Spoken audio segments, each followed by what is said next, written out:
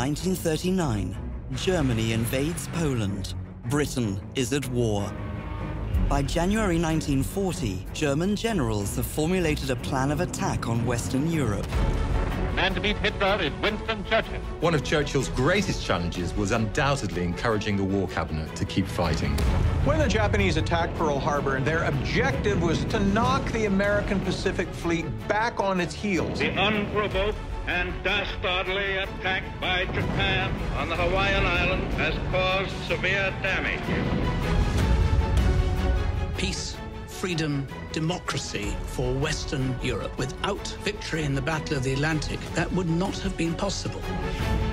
Thousands of Allied troops are ordered to block the German advance on Dunkirk. Every hour that they managed to save was invaluable up at Dunkirk. All kinds of small ships ended up in Dunkirk. You had sailing boats, you had fishing boats, and they were all needed. Everybody thinks about Midway, the Battle of the Coral Sea, but the battle you really need to know about is the Battle of the Philippine Sea, the most decisive battle in the Pacific theater in World War II. D-Day is Hitler's absolute worst nightmare.